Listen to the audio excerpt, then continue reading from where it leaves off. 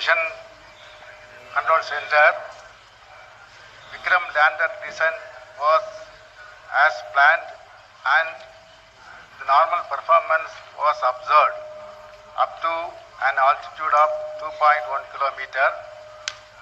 Subsequently, the communication from lander to ground station was lost. The data is being analyzed. Repeat, Vikram lander descent was as planned and normal performance was observed up to an altitude of 2.1 kilometer. Subsequently, the communications from the lander to ground station was lost. The data is being analyzed.